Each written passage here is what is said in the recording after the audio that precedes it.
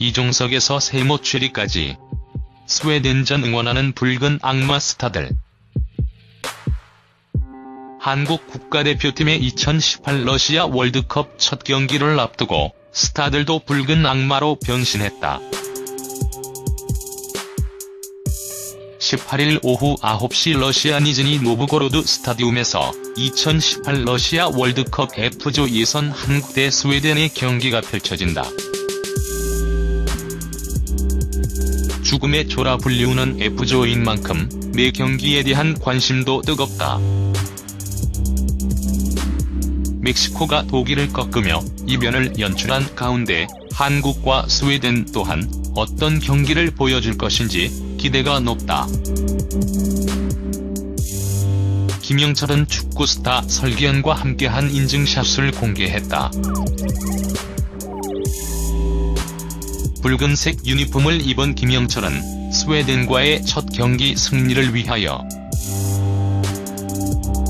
오늘은 red 이기자 파이팅 설기현 thank you 입담 최고 라며 응원했다.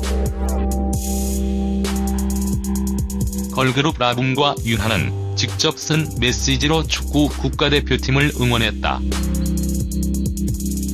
정채연과 이종석은 붉은색 의상으로 축구 국가대표팀 응원에 나섰다. 정채연은 흰 티에 붉은색 치마, 붉은색 리본으로 머리를 묶고 응원도구까지 들고 깜찍한 포즈를 취했다. 이종석은 내추럴한 분위기의 의상에 어플리케이션을 이용해 붉은 악마로 변신해 시선을 끌었다. 축구팬으로 유명한 하이라이트 윤도준과 이기광도 마찬가지. 윤도준은 우주의 기운이 그들에게 닿기리라며 한국 국가대표팀의 선전을 기원했고 이기광은 자신의 인스타그램에 선발 라인업 사진을 올리며 응원에 동참했다. 대한가나인이라는 별명에 걸맞게 세모 최리는 한국 국가대표팀 축구 유니폼을 입어 웃음을 자아냈다. 그는 오필슨 코리아. 대한민국 할 수 있다. 가자. 라며 응원했다. 러시아 현지에서 설렘을 드러내기도 했다.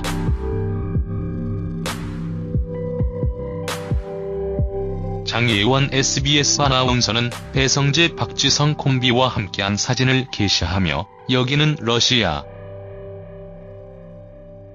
드디어 오늘 첫 경기다.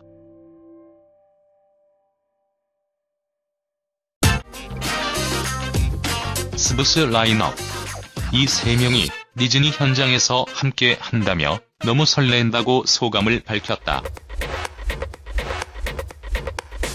또 서울 영동대로와 광화문 광장에서의 야외 응원전에서는 구구단, EXID, 딥플로우, 넉살, YB 등 다수의 가수들도 한국 국가대표팀의 선전을 기원하며 응원전에 동참했다.